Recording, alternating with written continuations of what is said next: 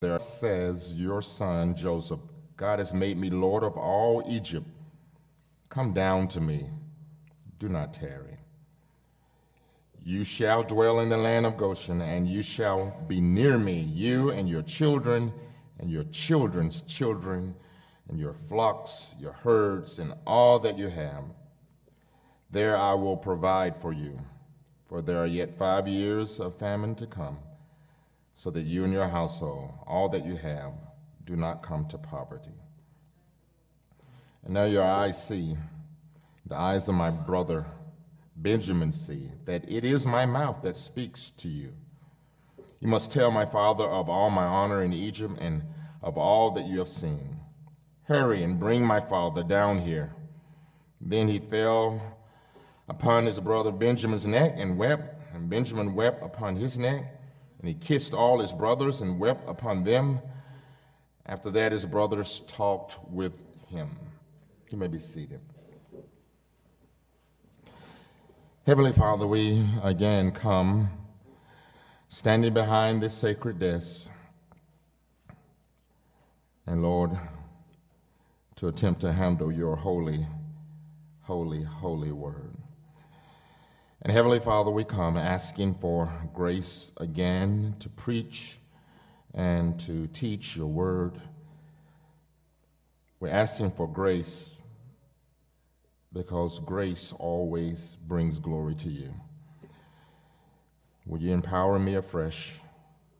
Feel me, Holy Spirit, work in me to will and to do right now as I handle your living word. Oh, Father, bless your people.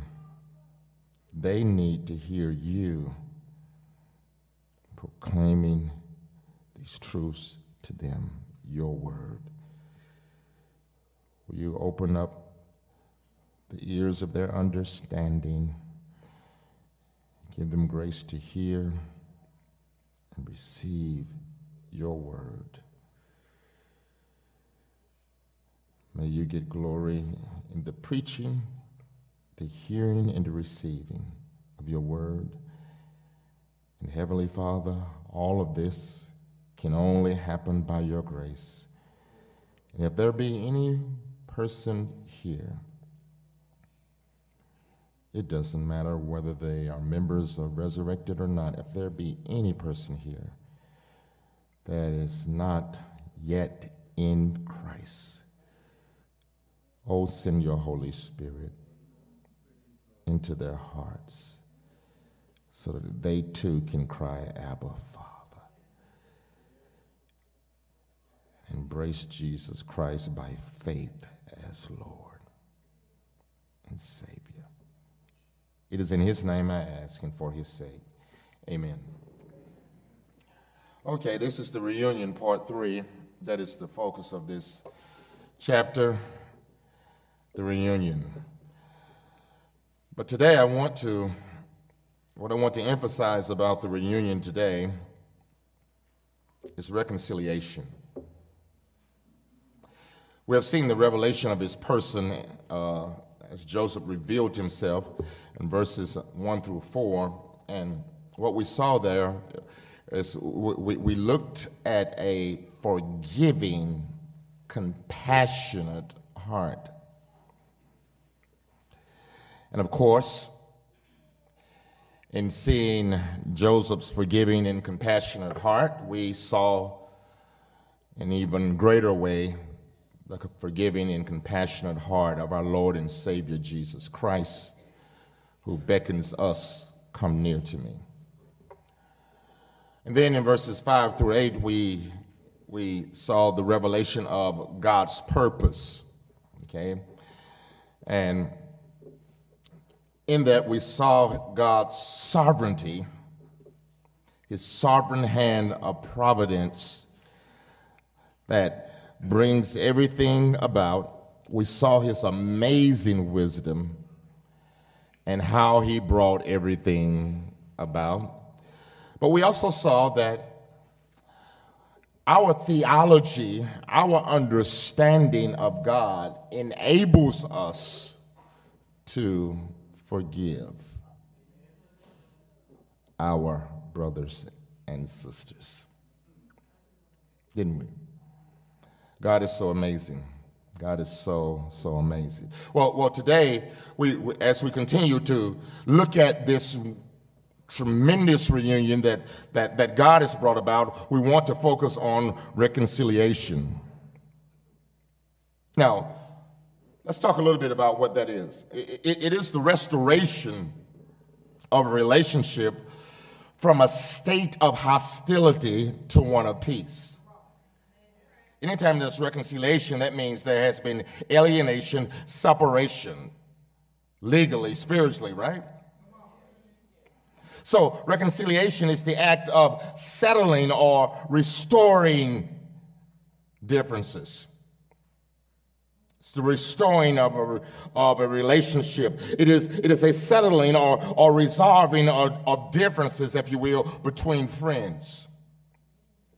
The Old Testament Hebrew word kapar, uh, which means to cover and is most often translated uh, as atonement. Atonement is the sacrificial act that covers a person's sins and brings that person into reconciliation with God. Proverbs writes in Proverbs 16 16, through love and faithful, faithfulness, sin is atoned for.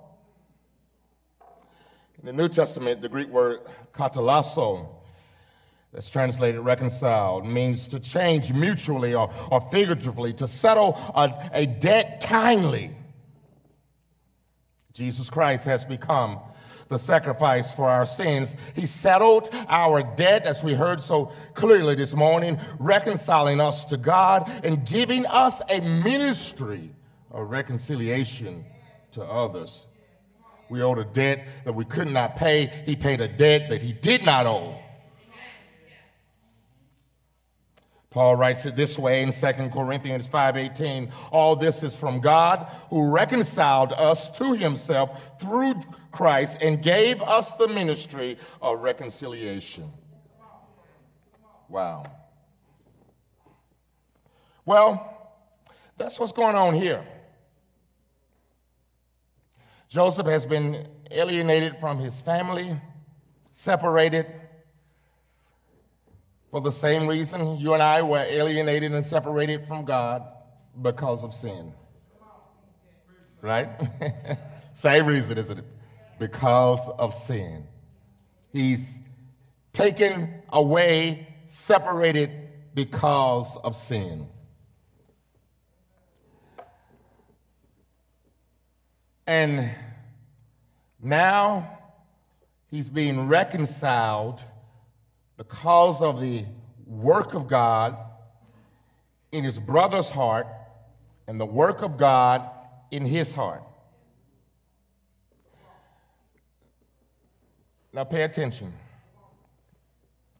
In order for there to be reconciliation between two parties, there, I, am talking about humanly, on, on the human level between two brothers and sisters or, or sisters and sisters. Or, or, eh, there has to be a work of God in both hearts.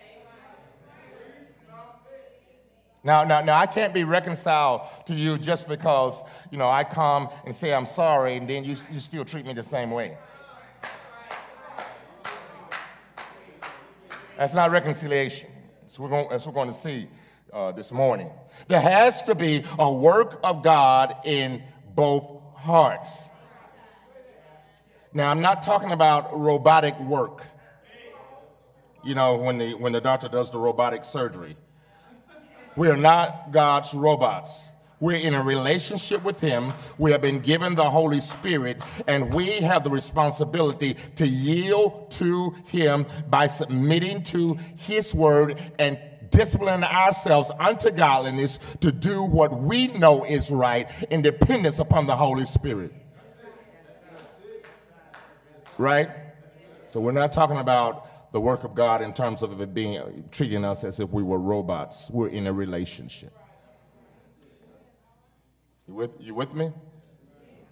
So, with that said, we need to unpack here what the Lord is teaching us from this text uh, concerning reconciliation. So I'm going to make this main point here. I want to talk this morning from this text concerning the power of true reconciliation. The power of true reconciliation. Let's just walk through here. You know, I'm not getting any younger, and this is actually my fourth sermon since Friday. The Chesters demanded that I preach yesterday at their daughter's wedding. oh, but you know what? So Christ centered, so God centered, so Christ exalting. Oh, it was my pleasure and privilege to be in, eh, there on such an occasion. Young people getting married, but you know, no boogie wiggy and all that foolishness. Just Christ being exalted. Okay, right? So I, I, I do I do commend you and Sister Chester, and just how this that whole yesterday was absolutely beautiful. The power of true reconciliation. So yeah, yeah, this is my third sermon. I got one more, but that's what I'm called to do, preach. True reconciliation, number one, demands truthfulness. Demands truthful, truthfulness. Pastor, where do you see that? Verse 9, follow me. Hurry and go up to my father and say to him, Thus says your son Joseph, God has made me Lord of all Egypt. Come down to me. Do not tarry. First, we see the truth about what God has done right? The first subject of the first sentence that Joseph asked his brothers to share with his father was the living God. Joseph is so radically God centered, God focused, God trusting, and he wants his father to know that the exaltation that he has experienced over the last 22 years had been a God created, God sustained exaltation. He wanted to strengthen his father's faith in the sovereign lordship of God over his life and over the life of his son. You see, you can't have reconciliation unless you know the truth about God. Have I got any warriors? You know, for example, in, in reference to our salvation, you cannot be reconciled back to God and you don't know the truth about Jesus. You got, you, you've got to know who he is, his person, and you've got to uh, uh have an understanding of what he has done, his work. Right? See, if you don't have the truth about him, you cannot be reconciled. But even in our relationships with one another as Christians, we cannot be reconciled unless everybody is willing to submit to the truth about God and what He said. The truth about God's providence strengthens our faith in the Lord. So, first of all, yeah, it demands truthfulness, the truth about God. But secondly, we see the truth about the brothers. See, the brothers have got to tell the truth. You said, Pastor, wait a minute. Where, where, where do you see that in the text? Well, they've got to go to Jacob. Tell Jacob the good news that Joseph is alive. Joseph is Lord of Egypt right? But in telling him the good news, they must tell him the bad news. They, they, they must tell him how Joseph got to Egypt in the first place. Have I got any warriors? See, see, see, they not only need to be reconciled to Joseph, but it's been 20 plus years and they have not been reconciled to their father. Hmm, wait a minute, I see something there, right? See, that they would have to tell the truth about what they did to their brother, how they treated their brother, right? They would have to confess, Dad, we've been lying for over 20 years. They, they, would have to really bring out the truth of what was going on in their hearts. They, they would have to confess, yeah, the reason we treated Joseph like that, Dad, is because we got jealous and our jealous, jealousy led to bitterness, and our bitterness led to hatred, and our hatred led to murderous thoughts and actions toward our brother. We saw him coming. We stripped his clothes off of him. We beat him. We threw him in a pit. Then we decided to sell him into slavery. That's how he got to Egypt. We sold him to those Midianites coming down the road.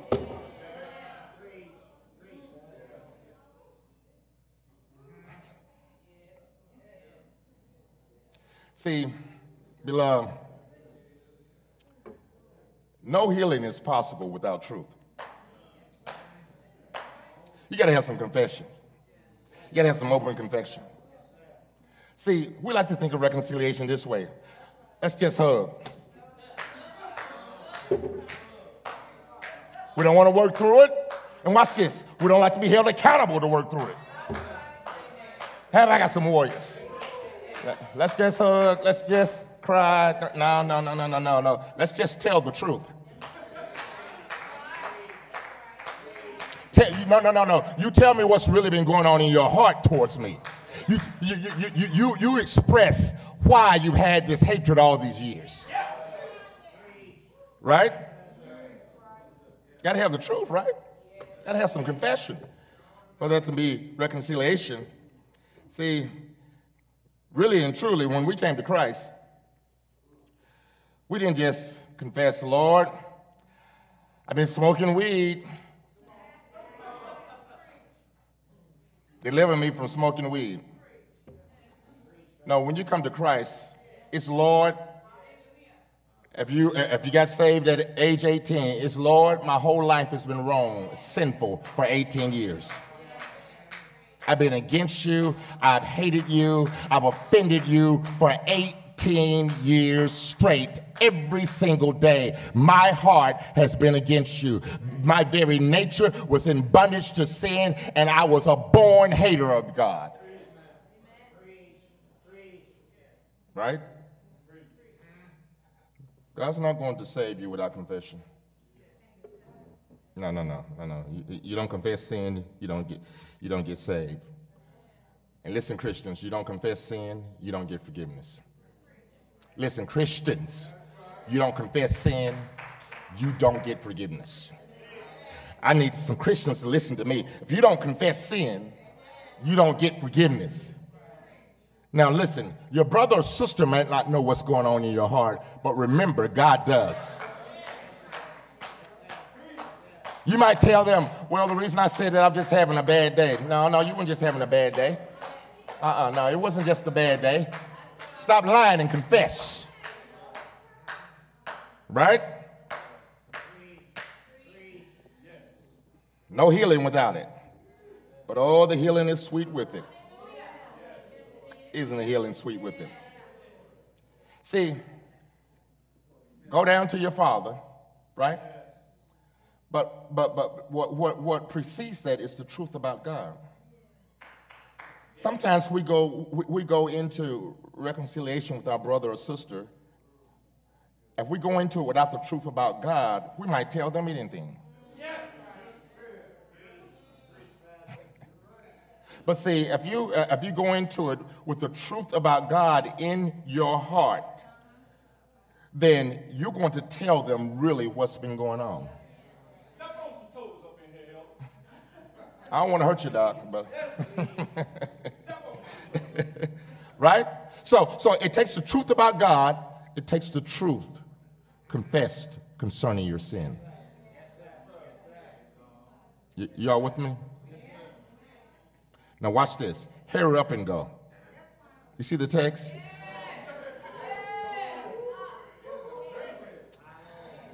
I don't want to get stuck here in this verse, but hurry up and go.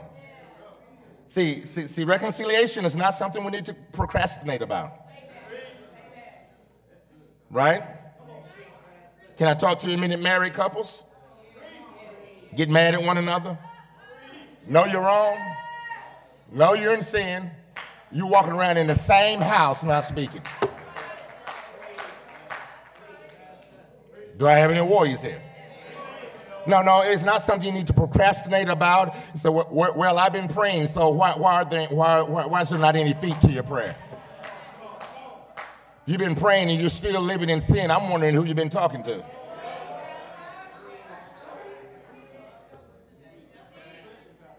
Because when I talk to God, God changes me. Right? Don't procrastinate. See, see, really, this should not have went on for 20 years. 20 plus years, it should not. And, and, and, and really, the stuff that goes on in here shouldn't just continue to go on. But we, we procrastinate because though we intellectually say we have the truth about God, but, but, but the truth about God is more than an intellectual knowledge. It is an intimate, experiential knowledge that actually affect how you think and the decisions you make.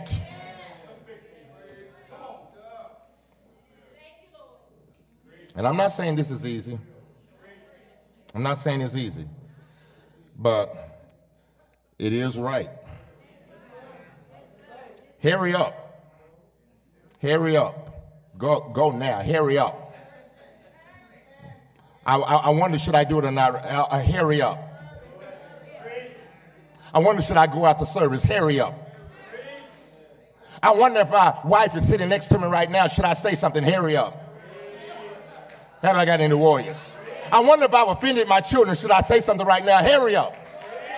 I wonder, children, uh, uh, uh, if you offended your parents and, and, and, and you, you, you're in sin you haven't apologized and you haven't sought to be reconciled, children, hurry up. Hurry up. Let me get some help on that. Hurry up. Matthew 5, 23 and 24. If you are, so if you're offering your gift at the altar and there remember that your brother has something against you, there you remember that he has something against you. I'm not talking about what you've done, I'm talking about that he has something against you. Leave your gift there before the altar and go. First be reconciled to your brother and then come and offer your gift. Jesus says, Hurry up. Hurry up. The time for reconciliation is just like the time for salvation is now. Hurry up. T- tomorrow, is, tomorrow could be too late. We're not to allow bitterness and anger and hatred and all this other sin in us to keep us separated from other people, whoever they are. Hurry up. That's why it's such a big problem because you didn't hurry up. And then you start procrastinating. Then you start thinking, well, really, really, no, really, you should have hurried up.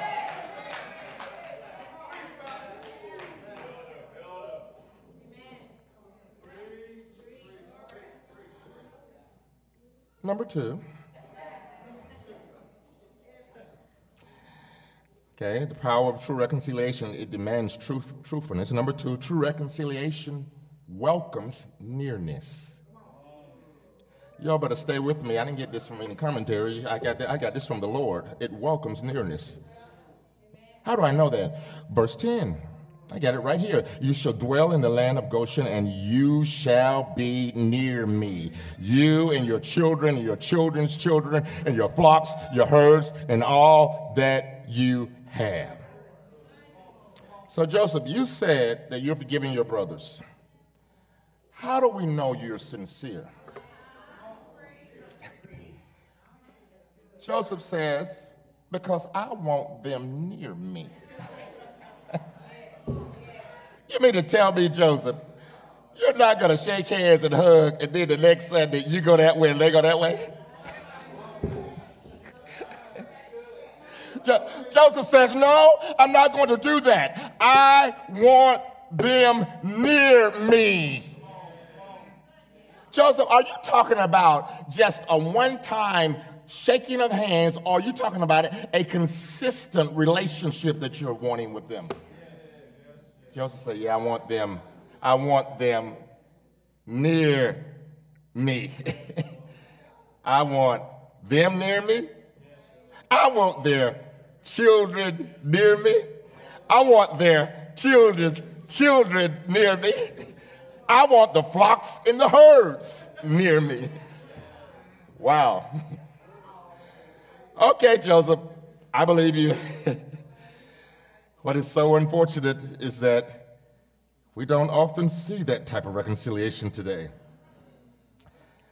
I want you to dwell in the region of Goshen. I know it's a big clan.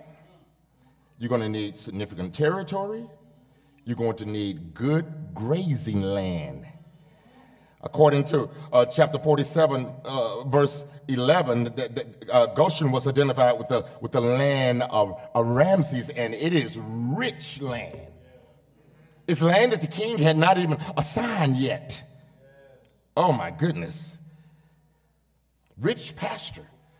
I don't just want you near me, I want you near me, and I'm going to give you the fat of the land. Wow. You know what?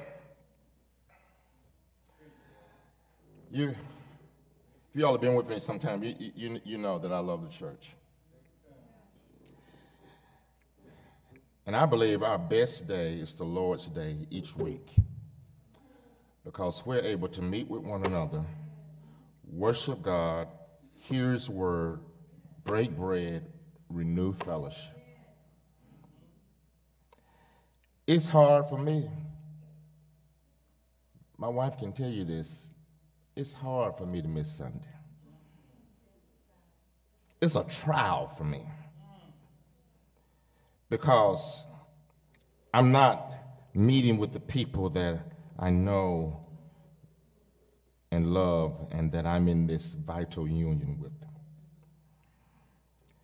Joseph is talking like his future is tied up in the lives of his brothers and their families. you, are going to be right home and get that. He, he acts like his future is actually tied up in the lives of his brothers and their families, his father. You know why he is acting like that? It is. It is. And you know what? Your future is tied up in the lives of your brothers and sisters, not only here, but universally around the world. Heaven is a family of people. The, the church is a family of people. Joseph loved his father, he loved his brothers, he loved his family, he wanted them near him. Now, no, it's not the ideal family. No, he's talking to boys who at one time wished him dead. He's talking to his brothers who made money out of selling him into slavery. Right? I'm afraid sometimes we want the ideal before we can be reconciled. Now, listen, husbands, wives, do you think that you could actually be married to someone that wouldn't sin against you? You're not married to Jesus. You got to be married to Jesus. Right? And there's no marriage in heaven, so you'd have to be married to Jesus. Right? It's never, no, it's not the ideal family. Yeah, they're sinful. But God can bring reconciliation even between sinful people.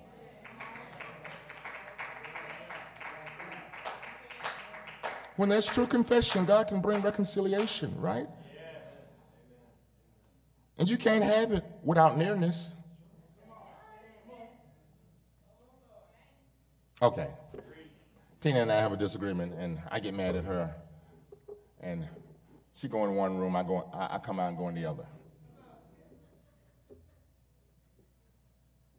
She said, and she says to me, well, well, I thought everything was okay. Where everything is okay, I just want to be in here right now.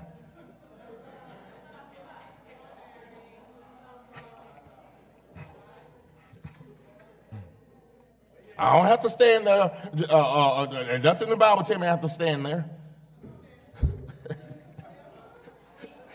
I know I'm getting into somebody's business. Because that's how we talk, right? That's how we talk to try to justify what we do. No, no.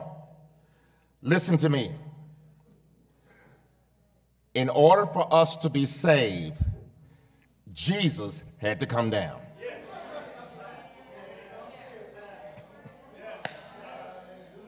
You need to take it easy, son. You got another sermon, all right?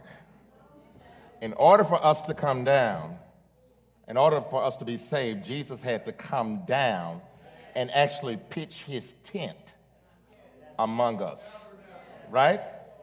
John chapter 1, I think it's verse 14, right? He had to come down.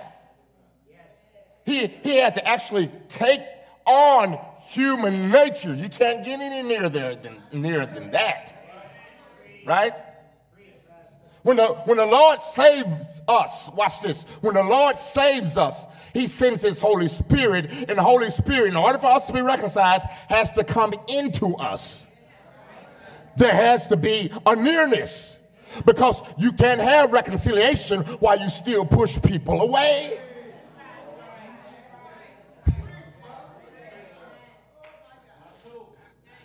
You can't have Dr. Jekyll and Mr. Hyde reconciliation. Hello, I love you. Oh, yes. Next Sunday. Hey, I'm just saying hello to this brother over here, right? You can't have Dr. Jekyll and Mr. Hyde reconciliation. You can't have reconciliation while one Sunday you're loving people, the next Sunday you're not. Right? You can't have reconciliation while you're pushing people away. Joseph says, I want you near me. My father says, I want you near me. My Savior says, I want you near me. The, the Holy Spirit says, I want to be near you. Mm, that blesses my soul. Because true reconciliation welcomes nearness. I, I, I, didn't say it just says, okay, I want you near me. I said it welcomes nearness. This was not their suggestion to live near Joseph, it was Joseph's. Right? The nearness came from the one who was forgiving them. The, the, the whole idea of nearness mm, smells like Jesus to me. I smell the fragrance of my Savior in that. And, and, and, if our lives are to be conformed to the image, and we are to grow in the grace and knowledge of Jesus Christ, then reconciliation needs to look like that in our lives. We welcome people, we don't push them away. See, Joseph could have just said, uh, Well, I don't want you near me now because I know I, re- I remember the beatings and the hand slaps and all of that. If he had said that, he, had not, he would not have forgiven them. Okay, thirdly, you with me? Uh, reconciliation responds differently. Say, I already see that, Pastor. Well, I want you to see it some more. It, reconciliation, true reconciliation, responds differently. Look at verse 11. There I will provide for you, for there are yet five years of famine to come, so that you and your household and all that you have do not come to poverty. Look at the consideration he's showing for their provision. You know, we're told constantly in the New Testament of the concern of the early church for those in need. You know, whether they're taking up a collection for the famine hitting church in Jerusalem or for Paul, we're told of these Christ like actions. And then we're also told that God supplies all our needs according to his riches and glory in Christ. So we're urged to show our love for the brethren and help them when they're sick, lonely, hungry, in prison, or whatever. We're asked, how can we say, John, John poses this question how can we say we love God whom we have not seen, whom we do not love the brethren whom we have seen? Joseph not only forgives his brothers, but he takes care of them. Oh my goodness. Right? Now, now, now listen. if you came to me and said, Okay, Pastor, I really love your head, but I hate your body. Now, you know, I would look at you like you're crazy. You know, I would give that smart aleck look. Excuse me? Which I'm communicating to you that you're crazy, okay? because that, that makes no sense, does it? Makes no sense at all. Didn't Elder tell us this morning that we are the body of Christ? Christ is the head? It's just not possible to pick and choose which one you're going to love. It's just as foolish, right? I want to show you this point of how true reconciliation responds differently. I really want to want to highlight it from uh, uh, from, from from this chapter. Okay, okay. Now, listen very carefully. Joseph's brothers had rejected him, beat him, threw him into a pit, and would not even listen to his cries for help. But reconciliation responds differently than that, right? Because here we see Joseph's commitment to provide for them when they need help, and they do, not only for a little while, but throughout the famine. And not only to provide for them, but to provide for them and their household. Right? That's a different response, isn't it? Watch this. Joseph's brothers had driven him as far away from them as they could. But now, when it's Joseph's turn to be in control, he says in verse 4, Come close to me. He says in verse 10, I want you near me. That's a different response, isn't it? Because true reconciliation responds differently. Watch this. Joseph's brothers had sent him out as a captive to Egypt on the back of a mangy camel. But according to verse 21, he gave them fine Egyptian carts for the journey home. That sounds different, doesn't it? Of course it does, because true reconciliation responds differently. Listen, Joseph's brothers were willing to leave him to die of thirst and starvation in the pit, in the pit. But watch this. According to verse 21, he gave them provisions for the trip back to Canaan. He provided for them during the famine, verse 11 and verse 21. That's, that's different, isn't it? Of course it's different. True reconciliation responds differently. Listen, Joseph's brothers had torn his clothes, but according to verse 22 of our chapter, he gave them clothes. He said, That's different. Of course, it's different. Reconciliation responds differently. Listen, Joseph's brothers had sold him for money, but he gave Benjamin 300 shekels of silver. Verse 22 Joseph even gave his brothers wise counsel, knowing their tendencies, don't quarrel on the way. Verse 24. That sounds, that sounds different, doesn't it? Of course, true reconciliation responds differently. How would you say that Joseph is able to respond differently? Verse 9, he, he had the truth about God. You see what is happening here? Do you really see what's happening? Joseph returned their every evil, cruel, and merciless act with goodness and kindness and mercy. Wow. I'm talking to somebody in here right now. You're saying, I just, I just can't do that, Pastor. Okay, I agree with you. But the Lord can do it through you. Can He do it? Can He do it? He can do it. Oh, oh yes, yes. See, that's why we are, we're to yield ourselves as instruments of righteousness for his name's sake. Romans 6.13, right? You remember a century before Paul wrote, if your enemy is hungry, centuries afterwards, uh, Paul, Paul wrote, if your enemy is hungry, feed him. If he's thirsty, give him something to drink. Do not be overcome by evil, but overcome evil with good. Romans 12, 20, and 21. You see, attitude is so crucial in the Christian life.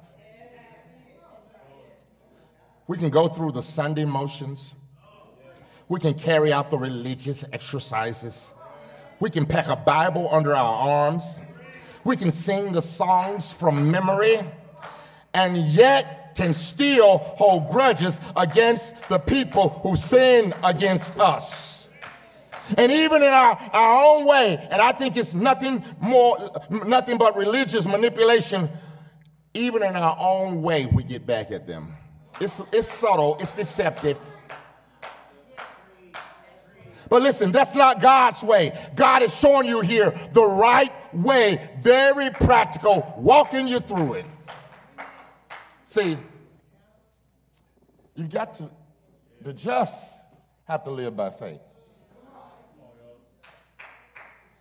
And I'm not saying the just have to live by faith when we don't have enough food. Not, not just then. I'm not saying the just has to live by faith when I don't have a job. No, not just then. No, no, no, no. I, I, I'm saying the just have to live by faith every day. No matter what, what occurs. Now listen, here's what true faith really looks like when it's seeking to be reconciled. First, when I'm able by faith to see God's plan in my location, when I'm able by faith to see God's plan in my location, when I'm able by faith to see God's plan in my location, my attitude will be right. How do I know that? J- Joseph kept saying, God sent me, God sent me, God sent me. See, not until you can relax and see God in your present location will you be useful to Him. See, a positive theological attitude will do wonders for our geographical latitude. Want it? God put me, God put me, God put me, God sent me. But Joseph, why aren't you focusing on what they did to you? Because I see God in my location. Joseph, how are you able to forgive them? Because I see God in my location. Joseph, how can you tell them to draw near to you? Because I see God in my location. Joseph, how can you respond so differently? Because I see God in my location. Number two, when I'm able by faith to sense God's hand in my situation, to sense God's hand in my situation, my attitude will be right. See, when you sense God's hand in your situation, you stop gritting your teeth in anger and asking the same old question every day why do I have to stay in this situation?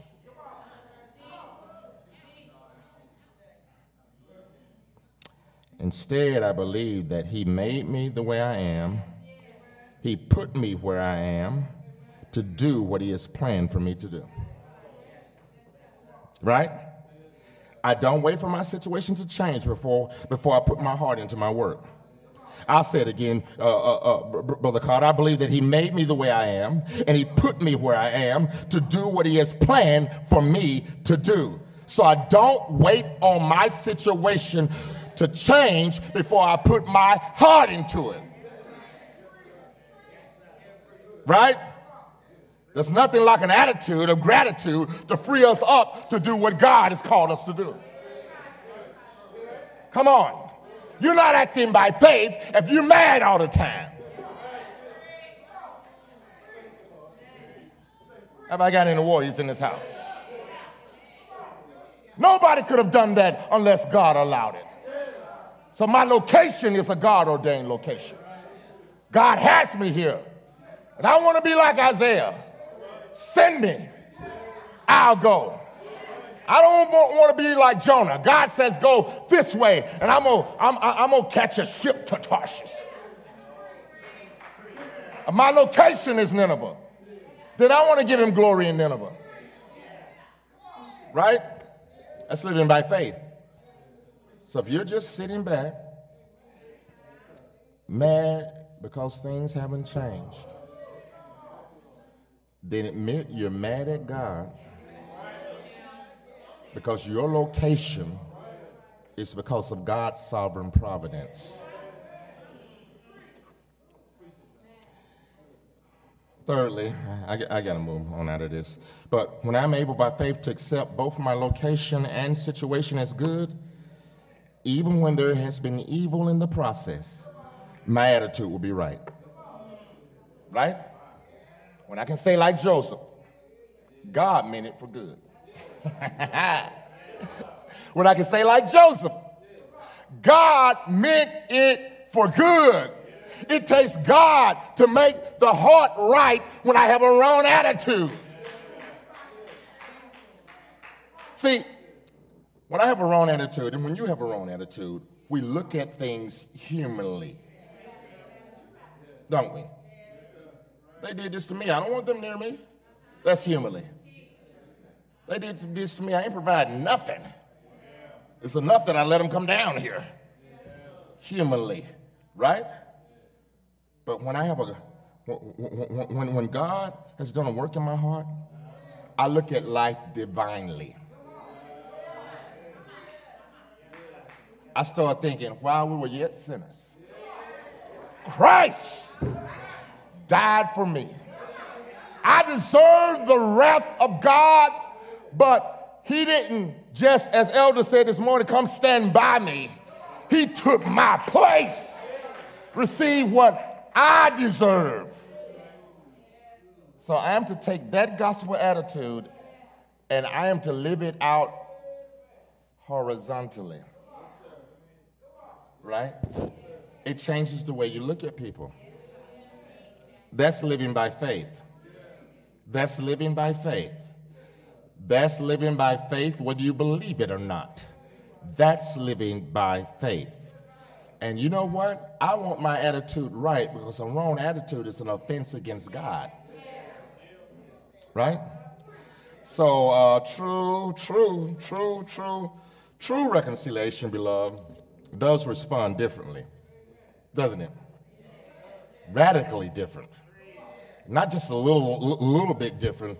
Joseph's response is radically different from their response to him back in chapter 37. See, Christianity doesn't just look a little bit like Christ and a little bit like the world. Christianity is radical, right? New heart, new spirit, Holy Spirit, come live in me, right? The world says, get all you can get. But Christianity is totally different, the, the, the, the, the very opposite of that. Okay, we respond differently, right? And listen, if I'm sitting here, if I'm, if I'm preaching and you're sitting here, you're saying, I have not responded that way. Be of good cheer. God has you right here, right now, listening to his word, and if you have not responded that, that way, God is saying to you, repent and respond that way. Right? Right? I don't want you leaving here. So, man, Pastor preached that, that reconciliation this morning. Woo, he preached that. You see all those points that he got, got out of that text? Woo, boy, I saw it and I saw it, and, and, and, and, and you still not speaking to your brother. I don't need any accolades. Okay? I'm here to, I'm here to bring glory to him anyway. Okay? I want you to see Christ and I want you to respond to him. Fourthly, true reconciliation is reassuring. So, Pastor, where did you get that at? Oh, verse 12. I got it right at verse 12. Watch this.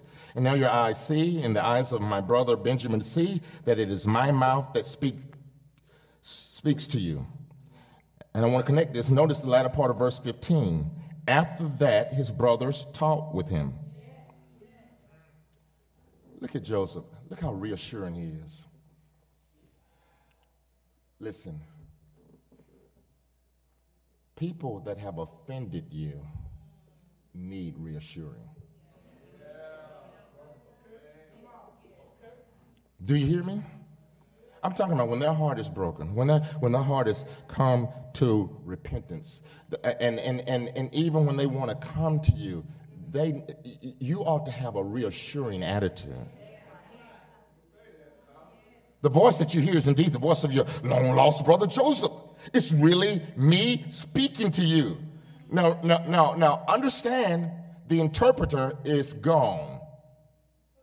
He is speaking to them in Hebrew. Their own language. He spoke to them in a language that they understood in order to uh, uh, uh, uh, uh reassure them. They recognized his voice. right? See, brothers and sisters, people need to know it's okay. There's going to be true reconciliation.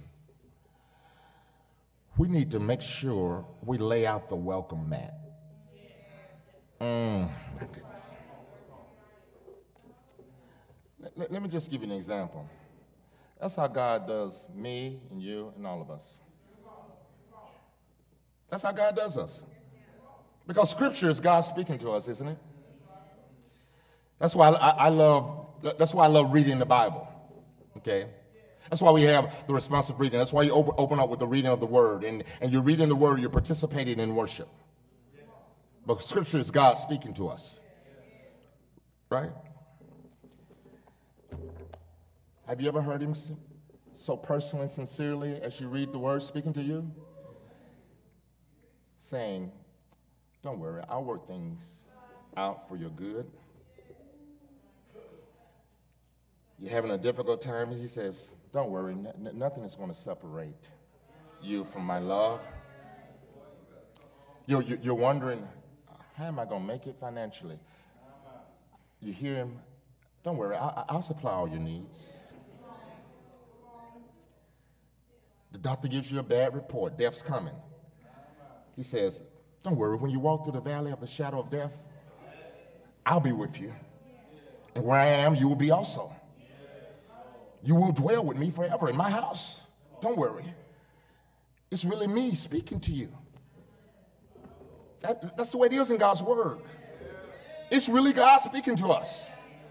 And we're to believe every promise in His Word. And when we're feeling as cold as ice, we are to believe every promise. When no word comes jumping out the pages of Scripture, thrilling us, we're still to believe it is God speaking to us because it matters to God that we trust Him, that we trust His promises, that are yes and amen in Christ, every great and, great and precious promise.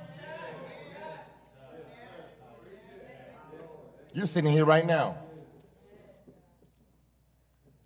And I know you've been a little bit uncomfortable, but God says, stop focusing on Jack so much. It's really me speaking to you. It's really me. Yeah, yeah, yeah, yeah. I stopped by Resurrected this morning. I know exactly where you are. It's really me speaking to you. Don't you get mad at Eddie D. You know I'm nothing but a mailman anyway. A mailman in my little truck with my stuff, putting something in your mailbox. Right?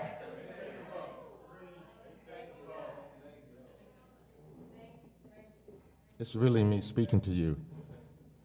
God, what I want you to understand, God continues to reassure us. And even if you're saying, if I go to this person, if I go to that person, if there's true reconciliation, if there's reconciliation and forgiveness, this might happen, that might happen. God says, don't worry. You can always trust my word. Don't worry, you can always trust my word. Just trust and obey.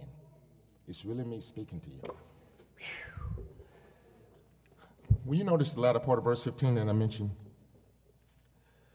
Joseph continues talking with them after he kissed them. Now, you remember what we just read from the preceding verses? Joseph was very, really anxious to get who there?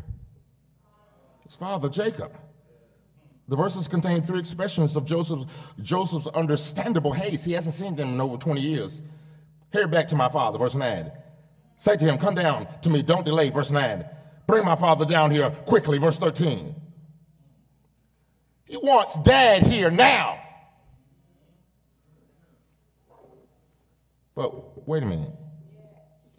He has an understandable impatience to see his father.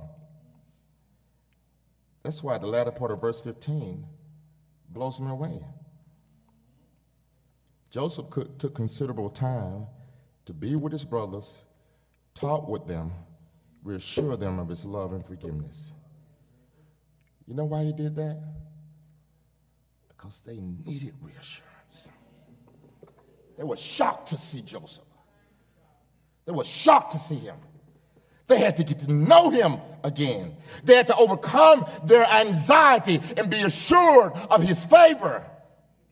That's difficult, even, even years later, and they, they, and they, and they know that they what they did.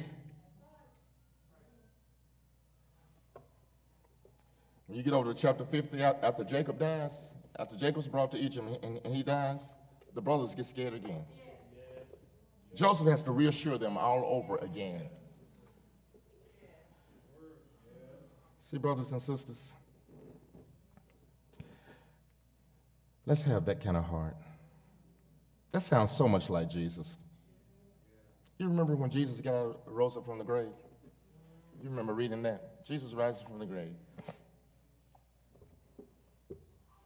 Tells his disciples, Meet me. You, you, you, know he stayed on earth 40 days. You know he, he, he was, he was back and forth for 40 days, right? On earth. You know what he was doing? Reassuring his disciples. Hmm. I mean, every one of them deserted him. Peter denied him three times. They needed reassurance. He comes through a closed door. They're, they're terrified. He says, Peace, peace, peace, peace. Don't be afraid. They needed reassurance. Right? Jesus told them everybody's going to desert me, and they did it. And what about what, what about old brother Peter? When he comes to Peter in, eh, in, in chapter 21 of John, Peter needs reassurance. He says, Peter, do you love me? Peter like, yeah. He says, feed my sheep. Feed my sheep. Feed my lambs. He, he, he could have derided Peter for, for, for, for, for denying him. Peter, I can't believe you did what you did. But he spent time with him because Peter needed healing. He didn't need a back taken to him. Some reassuring. Because that's what true reconciliation does. You know why I keep coming to my Father every day in repentance and confession? Every day. My wife and I get up, we, we and, and, and during the morning, we, we pray together. We're, we're praying. And, and, and you know, we're, we're confessing sin, we're asking for God's mercy, we're praying every, every day. You know why I feel free to do that? because of the reassuring grace I see in the gospel. I'm not coming to God like, oh, he's going to stomp me. Oh, no, I'm coming to God in confession because God has given me so much reassurance. I've got 66 reassuring books, all about Christ, all pointing to Christ, who he is and what he's done. Right? Are you going to treat people that way, though?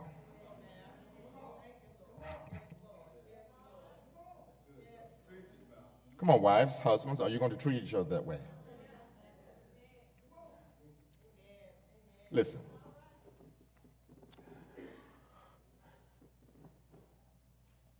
If Tina has offended me and she's coming to me, and I'm like, yeah.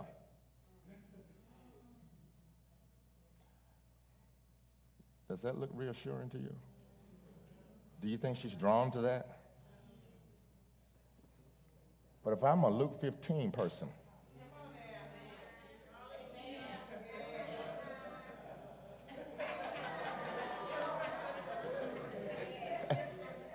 that boy coming down that road,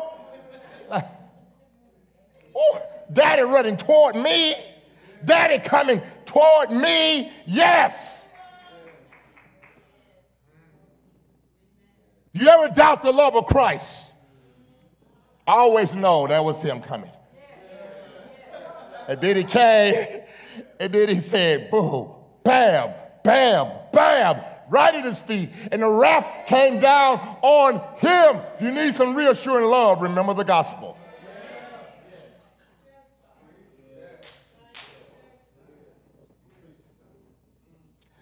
I pray that God would put these truths into your heart, and that will be the type of true reconciliation among us as believers in Christ. Lastly, true reconciliation expresses unity. It does. You must tell my, verse 13 through 15, you must tell my father of all my honor in Egypt and all that, that you have seen. Hurry and bring my father down here. Verse 14, then he fell upon his brother Benjamin's neck and wept, and Benjamin wept upon his neck, and he kissed all his brothers, verse 15, and wept upon them. After that, his brothers talked with him. True reconciliation expresses unity. So, Pastor, where did you get that at? I got it right from those verses. Notice the unity is centered in God's revelation. It's centered there. I mean, why does Joseph emphasize that they are to tell his father about his rule and his glory in Egypt? Is he still prideful, like he was in chapter 37? No. It's because he wants his father to remember God's revelation in the dream. What did God say in the dream? God said that he was going to exalt Joseph. And Joseph wants his father to remember the dream and realize the Lord your God has brought his revelation to pass in a most amazing way. We could not have dreamt in a million years that the grain bowing to my son Joseph, and the stars and the sun and the moon bowing to my son Joseph, the ruler of Egypt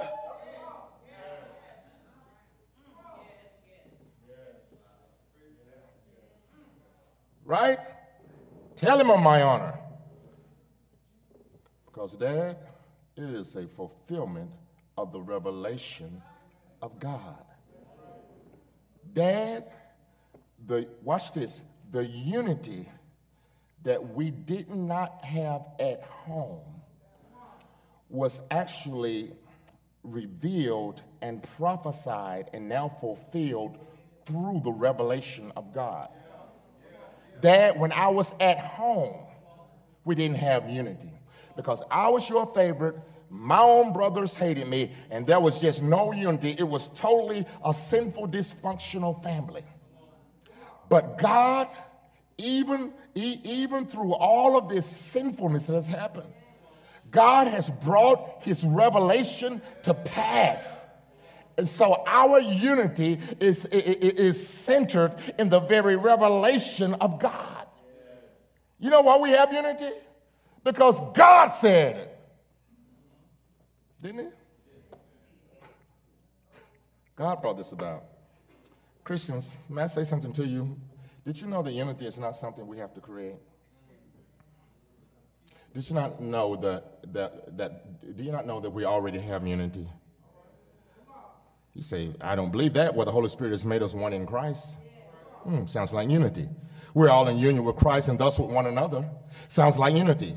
There's one Lord, one faith, one baptism. Sounds like unity to me.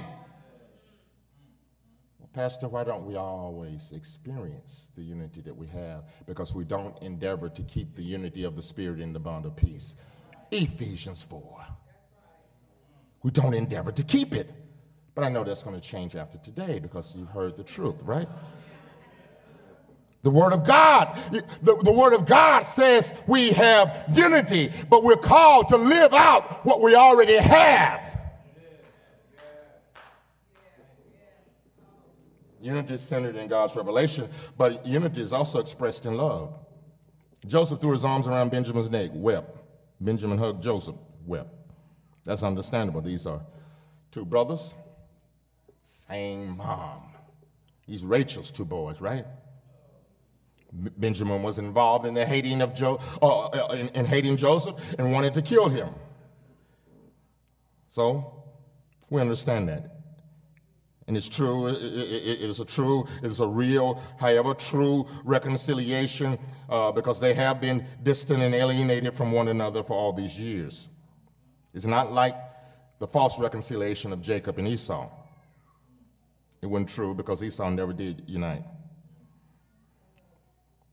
Never did. It was distrust and deception clouding the whole meeting. But Joseph blows us away in verse 15, doesn't he? He reached out and kissed all of his brothers and wept over them. Joseph, who had far less revelation than all of us have. Joseph, who had far less understanding of Christ than we have if you listen regularly at this church and take in the word and meditate on it. Joseph, who had no New Testament and no Old Testament.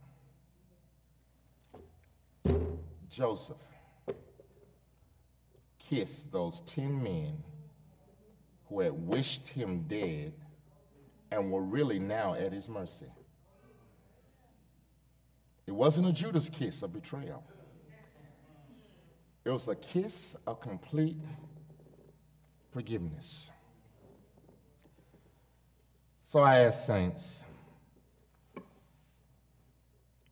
can you really kiss your brothers and sisters? I'm not talking about the physical act, this is spiritual. Can you really kiss him? Oh, or are you still holding grudges? Are you still holding grudges that are really microscopic in comparison to what we see with Joseph? That are really just tiny. You need a magnifying glass to see in comparison to what we see with Joseph. If you're still holding grudges and you can't truly embrace, truly show love towards your brothers and sisters, you don't understand forgiveness.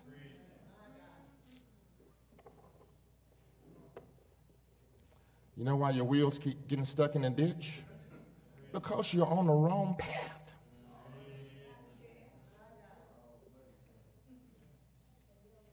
You're harboring forgiveness towards someone, you won't give it to them. You can't worship, you can't witness, you're not useful for the kingdom of God. Can you truly kiss them? This is the kiss of love. Do I have some warriors in here? Reconciliation comes through forgiveness. And forgiveness, as we've seen, comes through the recognition of God's sovereignty. If somebody has, has, has sinned against you, you can see them as God sees them. You can perceive them as God planned for them, and, and, and you can communicate that understanding with compassion and forgiveness, and then reconciliation can come. You hold that grudge, you, you're going to do nothing but retaliate one way or the other.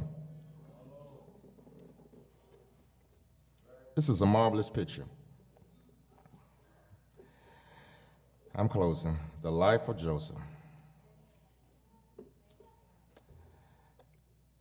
Life of Joseph and his brothers could have ended with all of them being Joseph's slaves. You know what? If we, if we were looking at this on television, if this was a television show, that's what we would want. Look at how they did him. So, wow, what a great ending, man. I'm glad he got him, all of them his slaves. I'm glad. Wow. Look at that. Ooh, that's the, now that's the way a story ought to end. And Joseph lived happily ever after his brothers, shining his shoes, bringing him uh, food every day, being his servants, and then going back to the dungeon for what they did. That's right. We would say that's a good ending, right? Come on, don't you want Superman to win? Get the bad guys, right? But God says, I'm going to show you a better ending than that. Right? I'm going to show you a better ending than that. I'm going to show you my kind of ending. That's your type of ending. That's the world's view of how everything should end. But I want to show you my type of ending. My type of ending is to take the offender and so change the offender so that the offender and the one who has been offended can truly be reconciled. Right? Hmm, that sounds like the gospel. Doesn't it? That sounds like what God did to you and me, right? God had been offended. He sent his son to pay for the offenses that we all had committed. Then he sent his spirit and said, Bring them to me. and he forgave us all of our trespasses, all of our sins. That's a happy ending, isn't it? That's the ending you want, right? Is that the ending you want with Jesus? And we live happily ever after in heaven, in the New Jerusalem. Uh, uh is that the ending you want with Jesus? If that's the ending you want with Jesus, then that ought to be the ending you want with your brothers and sisters. If that's the ending you want with Jesus, then that's the ending you want with your brothers and sisters. If that's not the ending you want with your brothers and sisters, then you're lying. That's not the ending you want with Jesus. You can't have the head without the body.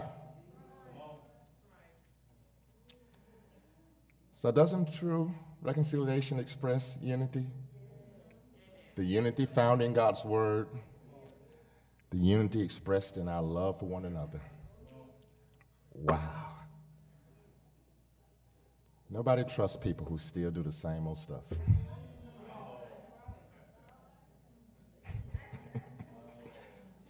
right? Remember Dr. Bobby Atkins years ago when we started this church? I, I, hope to get him somewhere in our 20th year anniversary, somewhere during that month.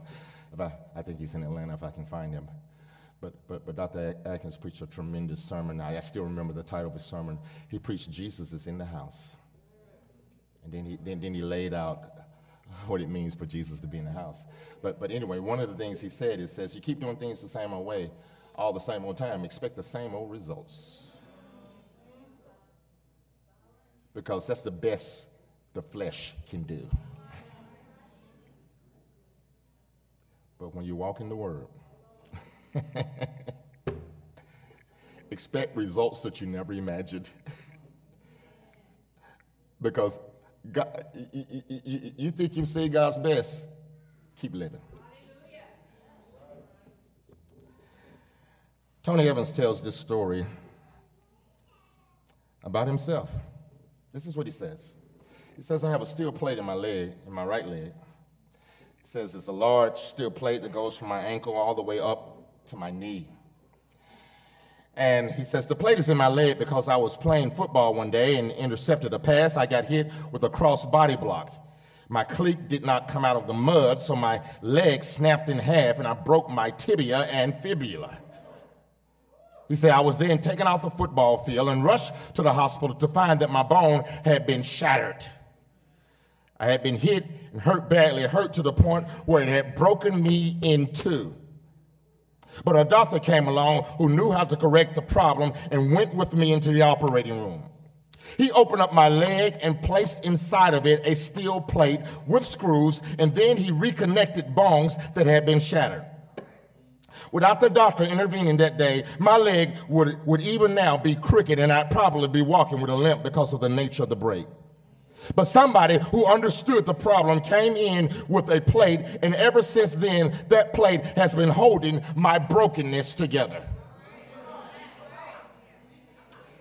Then he concludes, he says, God has given all of us the scalpel of his word in order to identify the sin that results in broken relationships. The work of the Holy Spirit is like a steel plate that brings and holds together that which has been shattered. So if there's going to be true reconciliation, we need the word, but we need the spirit applying the word. And God, in his grace, can bring together all that has been shattered and broken, and God can hold it together by his spirit, by his grace, for his glory. And then the church can really begin to reflect that in our oneness, the very oneness of the Godhead. May there be true reconciliation in our lives in this church.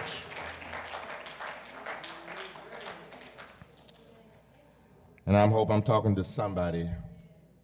If you don't know Jesus Christ, don't you want him? You are unreconciled to God.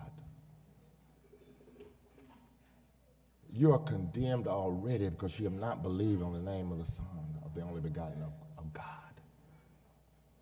You, you, you will perish. You, you will suffer eternally because you can't pay the debt that you owe. So you're always paying in hell. But what's God's answer to a relationship? Jesus Christ. Or better yet, as we learned this morning, who is God's answer? Who is God's righteousness? Jesus Christ. That's the only righteousness that God will accept. And if you come to Christ in faith and repentance, your whole life is wrong. Not just stuff you do, you are wrong. Your whole life is wrong. Your nature is who you are. You have a sinful nature and you are wrong. Therefore, your whole life is wrong. But you know what Jesus is about in reconciling you? Giving you new life, drawing you to Himself, providing all of your needs according to His riches in glory, kissing you and loving you forever. Anybody want that?